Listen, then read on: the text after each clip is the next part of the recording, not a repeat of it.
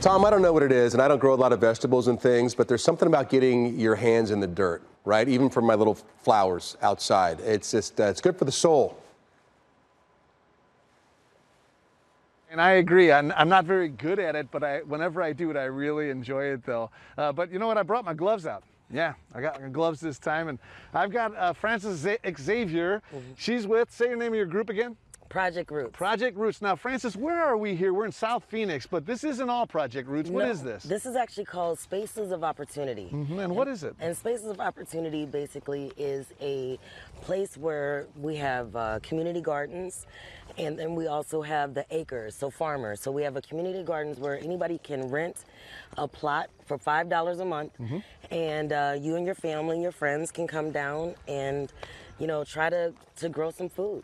Now, I get a kick out of uh, you and I grew up in the Midwest. You're a St. Yes. Louis gal. Yes, ma'am. In that yes, area. Now, now, think about that. It was knee high by the 4th of July, the corn. Remember that? Mm-hmm. and now, by the 4th of July, it's full blown, ready to go. That's true. That's so, true. you have some volunteers here. Yes, we Project do. Roots AZ needs a few things to get it going. And first, before we talk about that, what exactly are you guys doing? What are you hoping to do with the community, Francis? You know, we really just want to educate the community. We want to teach the community how they can become urban farmers, you know, and and to learn and to learn, you know, how the importance of growing your own food. Yeah, yeah. I noticed you have some young folks out here. Yes, um, you know, it's so important, I think, for, for you to teach kids this, because that's going to go down the line. Like, in other words, you're kind of paying it forward, aren't you? Yes, yes, yes. It is definitely important to get your children out here because you know what? Children become adults that are farmers.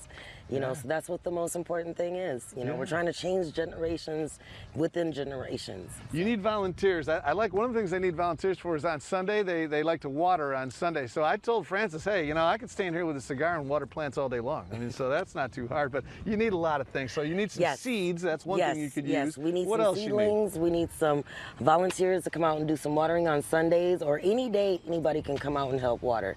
Uh, we also need some weeders, some people who can help de-weed because weeding is, is definitely an issue. Well, I know a little bit about that. I've got a yard too. So, Mm-hmm. Yes, yeah. I think we all know a little bit about weeds in Arizona, that's for sure. Project, uh, it's projectrootsaz.org. That's how you can look for information. But we'll be back in a little little bit, you guys. She'll probably get me picking some weeds or doing something. out Oh, you yeah. Hopefully she puts you to work. You got your farmer shirt on, you got your gloves. Tom, there's no excuse. You know, I got the gloves. I brought them in thinking I'd be in that freezer at Bashas', but hey, they work on the farm as You well. bet they do. CAN. Project Roots is down in South Phoenix, and uh, Spaces of Opportunity, they call them. Tom is out there taking the show home this morning. Tom. Troy, you know, anytime I go to these farms, it, these are so fascinating. These sunflowers are always so fantastic. And it seems like in Arizona they grow like weeds, which is what they had me doing. Now, here's one of the things that these guys need. They need volunteers to start pulling some of these weeds because it's all organic, so they're yanking all this stuff out. It's not a lot of fun, but it's good work and it's good volunteer work. And Francis Xavier, now you're you just told me, Francis, you're from a family of farmers, aren't you, from Yes, the St. Louis area? Yes, How far back?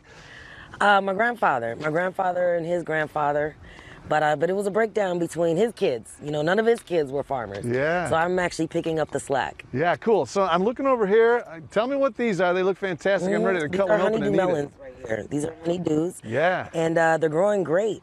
You know, uh, main thing is water. You know, they need just need a little bit more water. And you need volunteers on Sunday that'll help you water, that's for on- sure. One of the things I think that you're going to need is I see all this shading and also over here. This is beautifully done. but in you. Arizona, you got to have it, don't you, Francis? It's so important to have a little bit of shade. You know, you don't need 100% shade. It doesn't need a, a lot of darkness, but uh, but definitely protect it from the the sun rays. Yeah. You know, because sometimes the plants do better looking for sun versus direct sun. yeah, Project Roots AZ. Again, tell everybody exactly what your goal is, really briefly, so that people understand when they want to sign up to volunteer what they're getting in for. What they're getting in for, we need um, people who are willing to do some planting. We need some watering on Sundays. We need people to help with some de-weeding and also the shading. We need people to help with the shading. Um, but yeah, but our, and our, our main goal is just to educate, educate everybody. Yeah, you know, especially with the cool. youth. Bring your friends, bring your family, people who are just curious into farming. Yeah, of all the vegetables and plants, what are you growing most of? What do you got going out here? So right, right, this back here, like I said, is the the, the farmers with family farmers. So basically, these are a different group of families that are coming together and growing their own food. So everybody's growing a little bit of different stuff. You know, right now it just needs to be a little bit weeded, but we have some uh, melons, we have some squash, tomatoes, melons we have well. the sunflowers. You see leeks. Those uh, those are tomato. I mean, those are onions. Very cool. yeah, feeding from the ground up. ProjectRootsAZ.org if you want to volunteer, you guys. Check it out. Have a great day.